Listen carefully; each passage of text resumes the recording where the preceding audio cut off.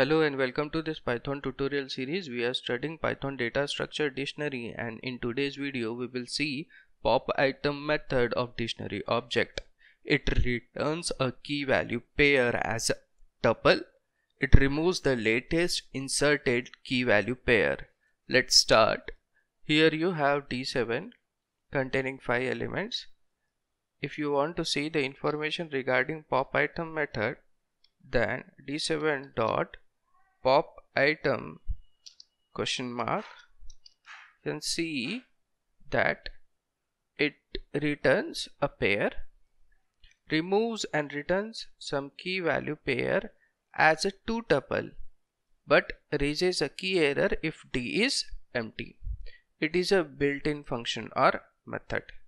Let's cross check this we run d7.pop item method it will return a key value pair we store it in variable var is equal to d7.pop item and it doesn't take any parameter.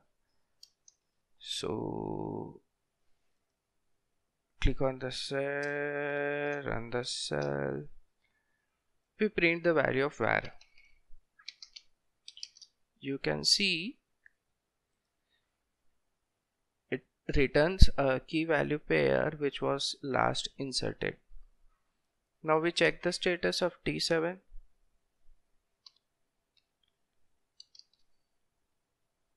Now the last inserted value is key for Python.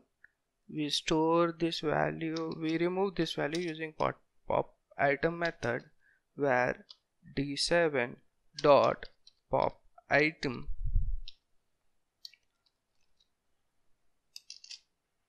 We print the value of var var2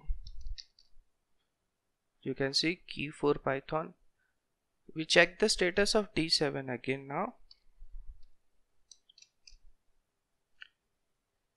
Now it has 2 3 10 suppose we add one value to this dictionary d7 d7 uh, new value will act as a key and inside it we insert a string python programming.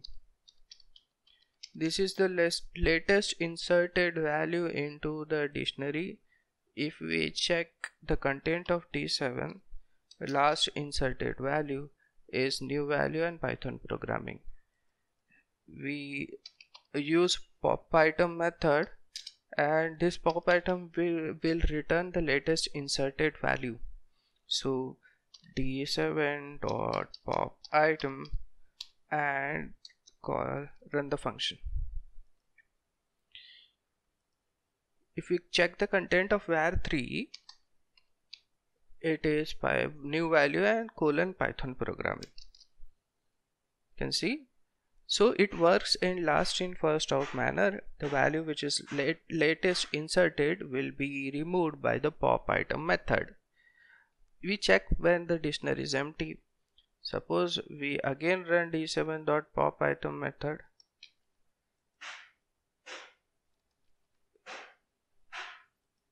And we check uh, the status of d7